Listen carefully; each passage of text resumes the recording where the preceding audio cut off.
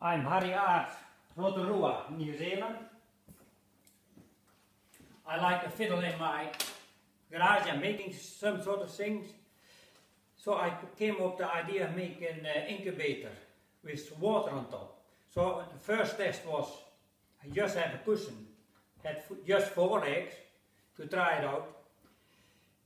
And I had a small aquarium or container where it's just like an aquarium. The water was 100 degrees Fahrenheit. So then I had, here are the eggs, then I had a wine bag, put it on top and have this one in my fish tank and the water being pumped through here and back. So that was my first one try and it, I was amazed how good it was. So I think, okay, there we go, we make a little bit more a professional one. So you see here in my box,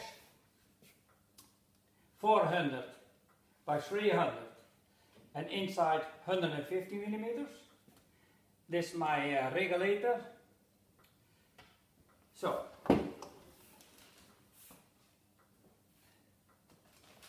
open it up. So this is the inside of the box. I have two compartments, small one and a bigger one. The small one is for my uh, gear and this one is, I call it the nest. I can make the nest bigger or smaller and I can make it deeper or or higher up or whatever. You can fill something in, something like that. But yeah, okay. I made also a hole here that I can put my thermometer in and that's just sitting on the foam. The foam is 40 millimeter high and this piece of wood here that's 50 millimeters high and that uh, compartment is 90 millimeters. In that compartment there I have a piece of glass, good thick one. I put the regulator on, the heater on and the pump. That's all in here.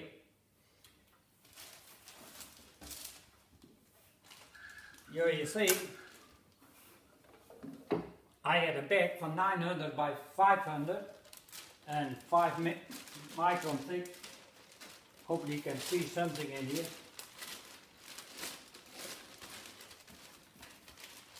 There's all my gear in there, you see?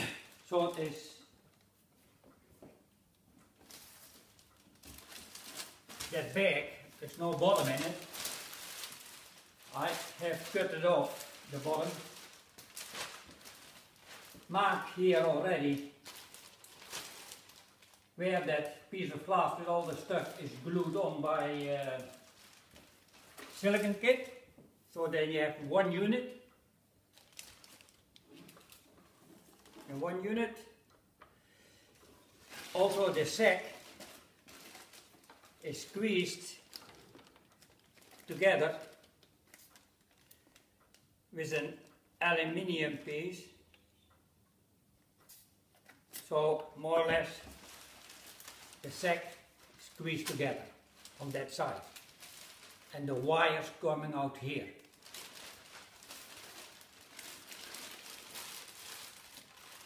So, uh, needs two and a half liters to three liters of water. When I let it down, when the water is in, let it down, when the eggs are in,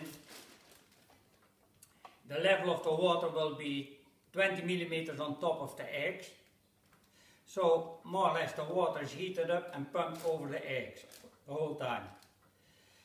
And this can hang just outside and you can close it. So when you have to turn the eggs, you lift this one up, turn the eggs, back again, and that sort of thing. You, I do that all the time, in the morning and in the evening, turn them, and also I, after the fourth day, I give them uh, I leave it open. The fourth day, four minutes. Five minutes the fifth day, the sixth day, six, and they'll keep going every day one minute longer. So more or less just like a chicken that goes, goes off the nest to have them feed, you see. And for moisture, I can use a, spray a little bit on the foam, or you spray a little bit on, on this one. I have filled it up with uh, wood shavings, and I can open it up on this side. You can make a big one, then you don't need the, the foam and that stuff, but there are many ways to roam, I am always saying. So, so the, when it's time to hatch, then I have this one on top of my nest, so that I keep the eggs free from this bag. You see? Also, the chicken have a sharp point on the beak, on the top beak, and they can poke perhaps on uh, the plastic bag. It never happens to me, but could could be. So this one has to be just a little bit that eggs are free from this one. So then they can hatch. So the temperature, uh, the moisture contents, you can weigh your eggs, the whole lot, on a uh, kitchen scale and then you weigh them every day or second day and see how it goes down, the weight. Uh, the eggs has to 13% uh, less waste in the whole sequence. Another thing is you can use this one, you see, kitchen stuff I think it is. Have this one on top when they hatch, you see, and then this one over. Uh, I think that's more or less what it is. Hopefully uh, you enjoy it what I'm doing. Perhaps you can make it the same. I have a drawing and I will put it on the on the end of this one. Okay, dokie. So later on I have a few eggs and will put them in here and then put water in and you will see how it runs. Thanks for watching. Oh, by the way, I have done it a few times, uh, three times I think, and all the eggs that I'm, all the eggs that have been in here, they when they were fertile, they all has been hatched. So I'm not missing yet one egg. So now you can see how the water flows over my nest in my water bed incubator. So I open the bag so you look into the bag towards the small compartment where my heater and pump and all that stuff is in and you see the circulation. So that's how it is, you see? Um, bam bam, that's it. So I go closing the bag.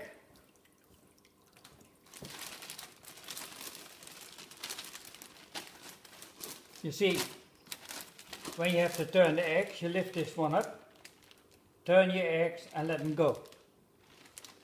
You see? So I do it always the bottom part I hold, you'll see the center line a little bit here, that's, then let nicely down. And that's more or less what it is. And the rest goes by themselves. See, close it up. That's how it is. There we go now.